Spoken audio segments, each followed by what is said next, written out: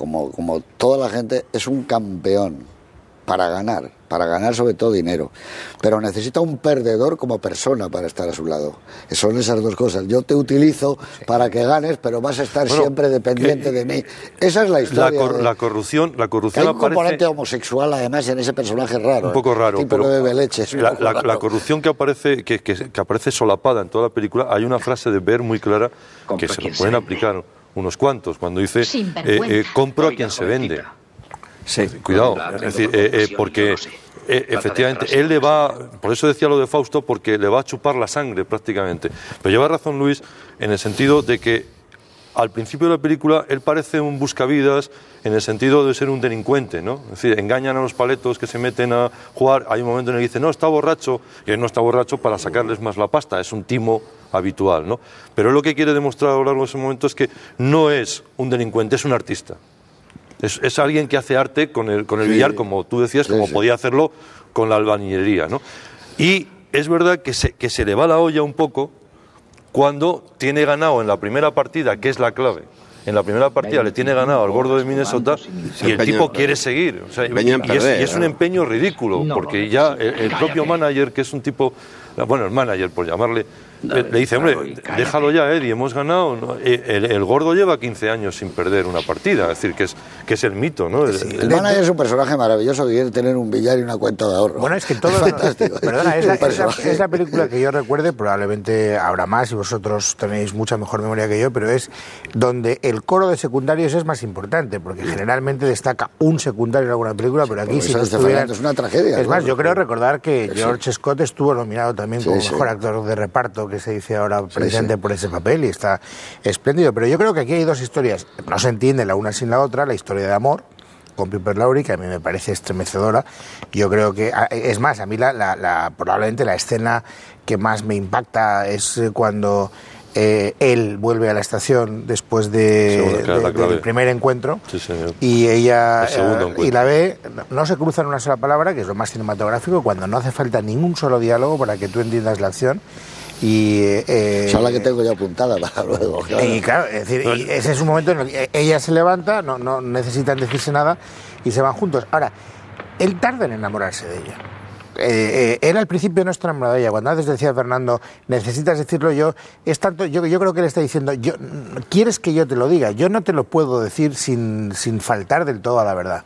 Él se va enamorando después y cuando él adquiere conciencia de que ha sido eh, un amor que no ha sido capaz de redimir a la mujer a la que finalmente amaba de la soledad, es cuando él se da cuenta de que ha pagado un precio demasiado caro y que ese es el precio además que le convierte en perdedor. Y, y cuando es capaz de ganarse a sí mismo es cuando realmente ya cambia radicalmente la historia y cuando él al final gana, ¿no? es- es- ¿Os habéis, dado, os habéis dado cuenta las de veces que se ven a lo largo de la película los dólares, los billetes? Continuamente se está viendo, Claro, como la corrupción del dinero, continuamente. Claro, porque Y se está viendo. se va Aparte pasando de una que hay planos que se ve la tiza, el taco, el billar, los eh, insertos, las troneras, como tú dices, pero la presencia del dinero es constante. Siempre tienes No, dinero. del dinero, del tabaco y del whisky. Las tres cosas. Cuando la estuve viendo Una ahora... película dura, ahora sería una Pero película. bueno, ¿no? ¿cuánto? Ya. Ah, imagínate, con toda esta Eh, tropa. eh, Puedo volver a, a George Scott. Es que este el, el actor eh, siempre, mm, siempre me llama mucho la atención después de leer un libro que escribió Marcos Ordóñez sobre Ava Gardner. Sí, muy buen libro. Eh, este tipo estuvo persiguiendo a Wagner hasta, vamos, hasta la extenuación. Sí, Un una obsesión, pesado, una obsesión Un obseso, la perseguía y tal. Y yo cada vez que lo veo ahora en el cine me acuerdo ¿Recuerdas de, de este Ava Gardner, de este maltratador de Ava Gardner, ¿no? Pero en esta película está yo espléndido, ¿no? No solo en esta, pero está espléndido.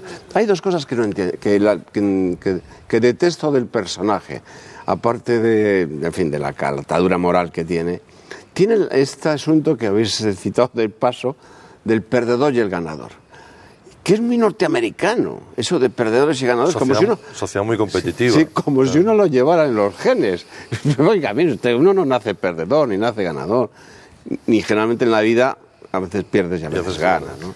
Ahora, el, el- tú eres un ganador. Y, le, llega, le llega a obsesionar al, al este, al rápido, al, a, Paul Newman. Eh, eh, bueno, es eso que dicen en Estados Unidos siempre, el número uno es el ganador, el número dos es nada.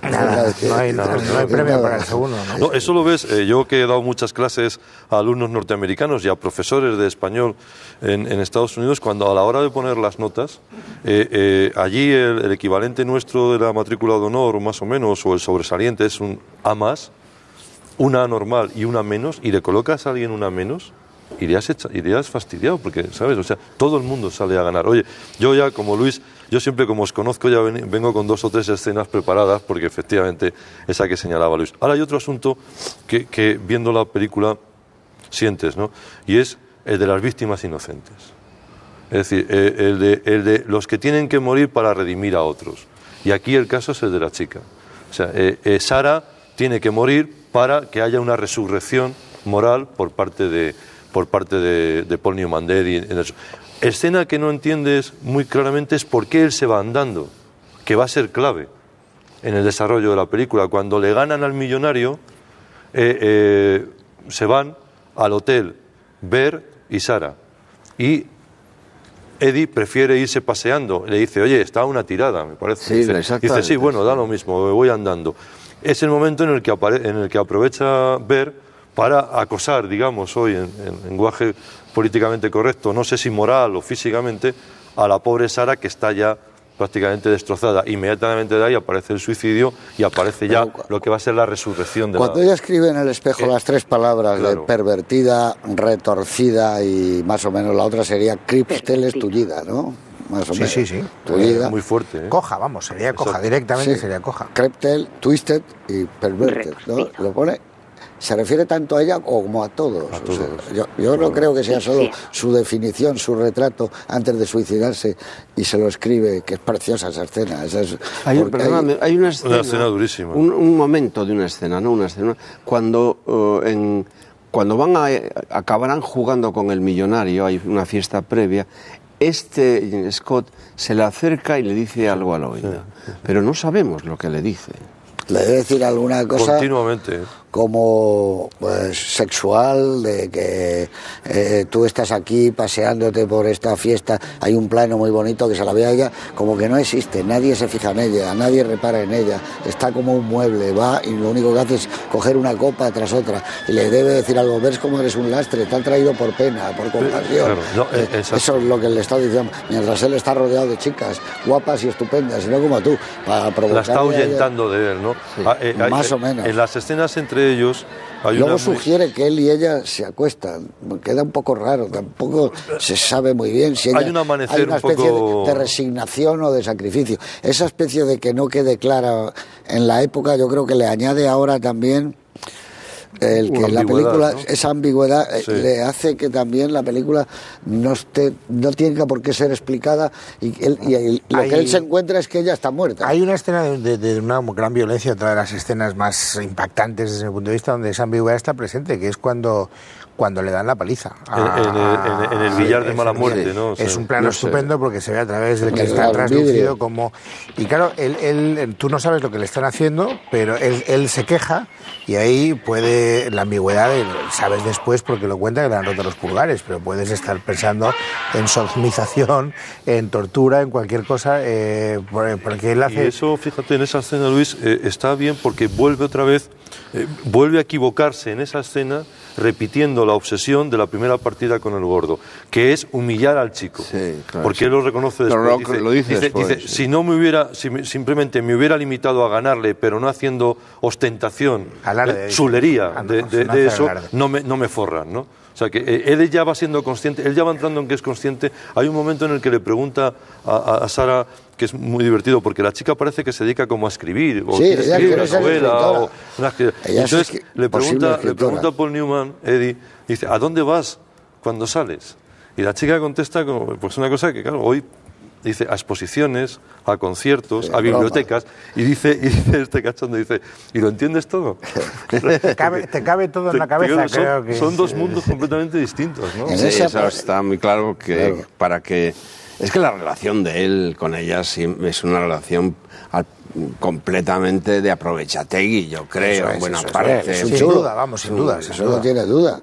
lo que pasa es que la vez dice, tengo que tener dinero, ella paga todo.